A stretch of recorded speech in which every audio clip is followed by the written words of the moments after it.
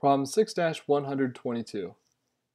Aniki has a sequence of numbers given by the formula t of n equals 4 times 5 to the power of n. What are the first three terms of Aniki's sequence? That's pretty easy to start out with here.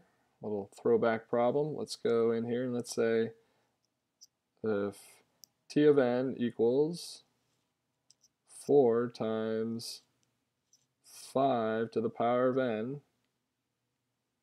we can say, all right, well, the first term, obviously, is going to be 1. So we're going to do 4 times 5 to the first power, which is going to give us 20. Second term, we're going to do t of 2 equals 4 times 5 squared. 5 squared is 25 times 4 is 100.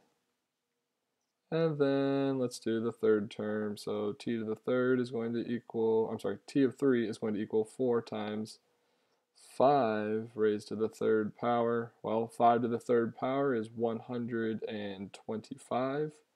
125 times 4 would be 500. And you'll see here, as we go up, we're just multiplying by 5 each time, which is our multiplier.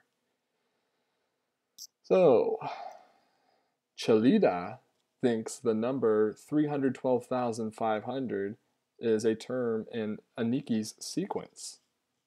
Is she correct? Justify your answer by either giving the term number or explaining why it is not in the sequence. So letter B. Well, we know that our output would have to be 312,500. So we're saying that's going to equal 4 times 5 to the nth power. Ooh, let's use some of our new methods for solving this. Let's first of all start out by dividing each side by 4.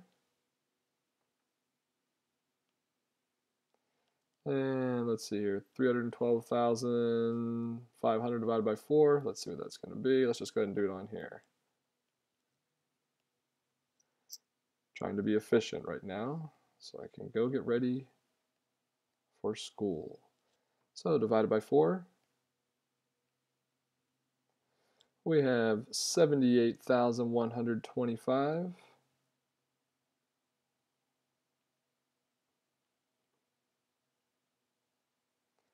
And that's going to equal 5 to the power of n.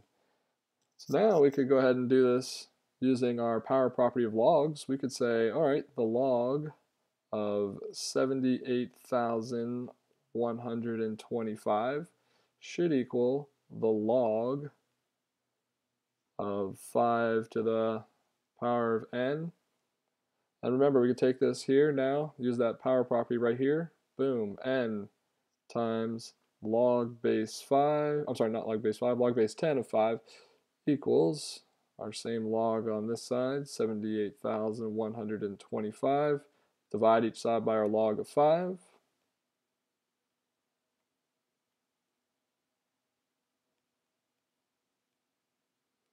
So when we do that now, we're going to do log of 78,125.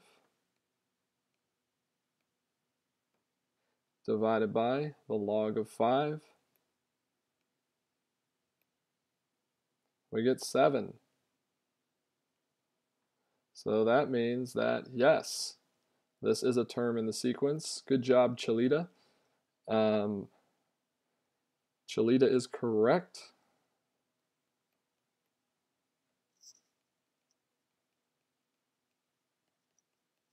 It is the seventh term in the sequence.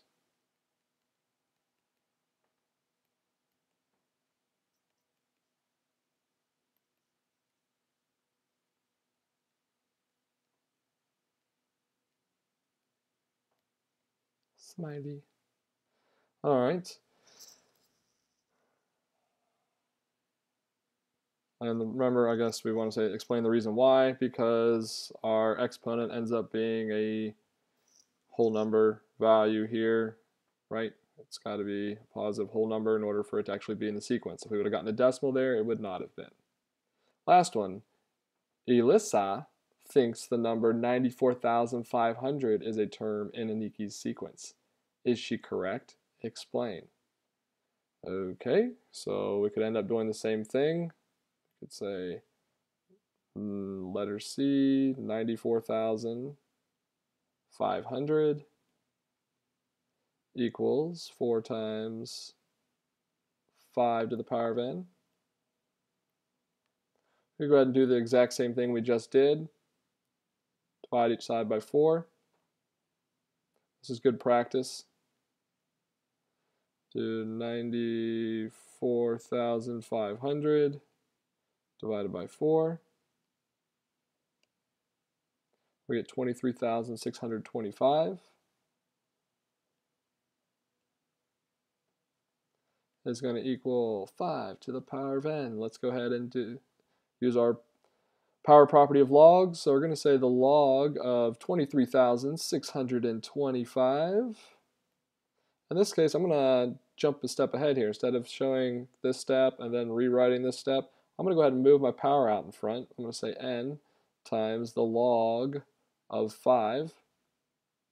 Cut down on a whole step there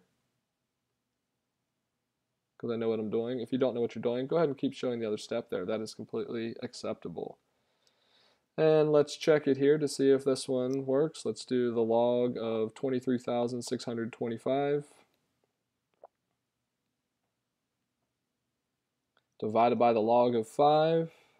Oh, we're almost done. I can feel it.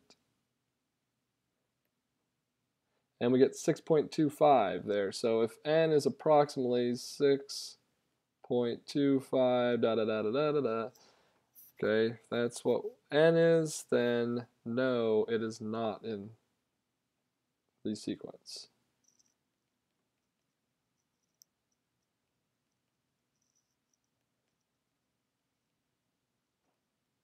Why? Well, because we got a decimal value here and we need only whole number values in our um, for our exponential values there. So our, our term numbers can only be whole numbers. If you want to write that in, that'd be a great answer. So term numbers may only be whole numbers.